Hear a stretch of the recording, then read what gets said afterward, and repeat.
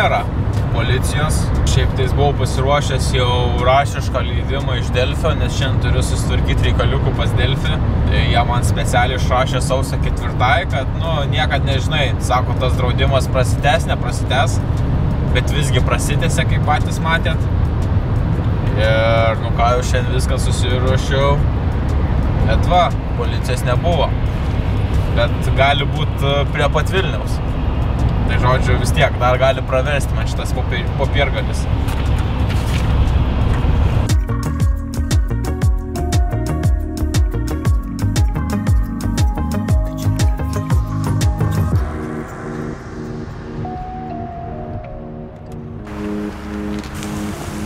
Nu, o čia nais Delfio šaika.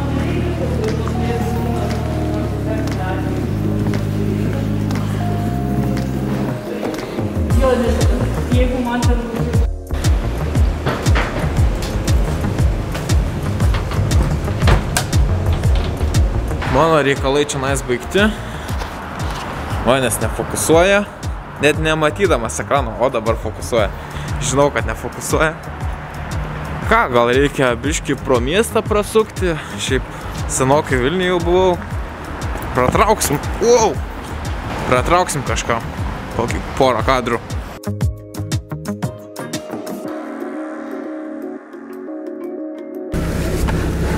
Bet pirmą reikia užsukti iki Martino. Tenais manęs laukia vienas terabaitas SSD hardelis ir printeriukas. Ir taip pat gal jau bus ir paruoštas 2 po 10 terabaitų mano hardelį.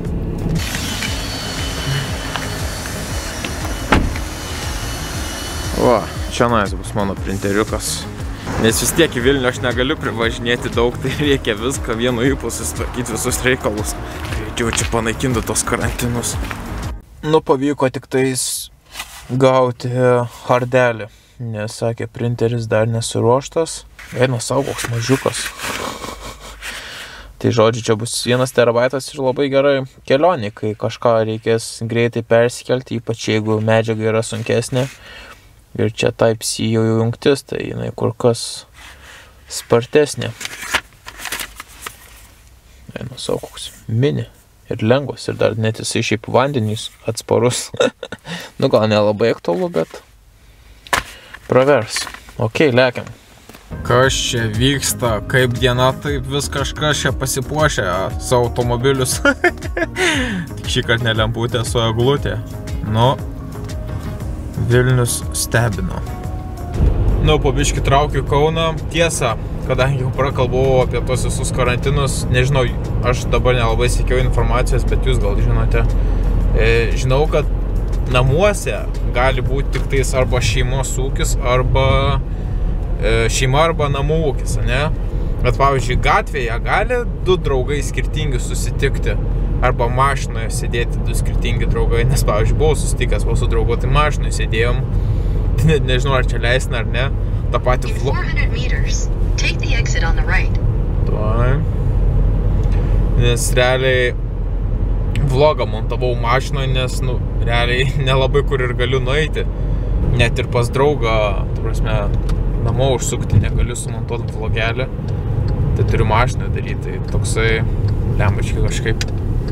Bet kiek žinau, tai negalima, ne? Tai jeigu aš kažką klystu, tai painformuokit mane. Nu, bet šiaip, kas liečia karantinus, tai matau, kad yra tikrai irgi paveiktų žmonių to karantino. Pavyzdžiui, va čia vienas iš komentarų batuotas Katinas parašė, kad jaučiu aš svaigstu apie Čilę, apie automobilį, tik tais, kad tik pavyktų, ta prasme, pamirški įskridimą į Čilę. Ta prasme, šaika, viskas easy.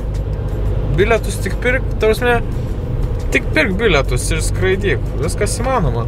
Nes e, iš Vilniaus yra skrydžiai per persėdimą, per vieną, per du persėdimus, labai vairiai. Bilietas 8-900 eurų.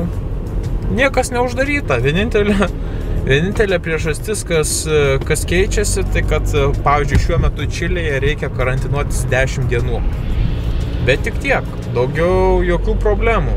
Taip kad biški daugiau optimizmo.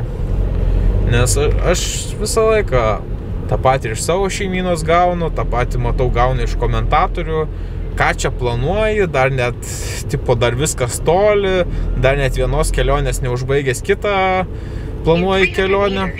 Bet, nu, taip aš turiu visą laiką daryti. Aš jau vieną kelionę užbaiginėdamas jau žinau, ką darysiu toliau. Ir, nu, negali čia laukti paskutinių sekundžių. Čia, čia kaip sakau, ne- nenuvažiavimas iki palangos. Čia, ta prasme, yra reikalų, todėl aš viską iš anksto ir planuojuosi. Taip kad daugiau šaika pozityvo ir susimatysime rytoj. Čiau.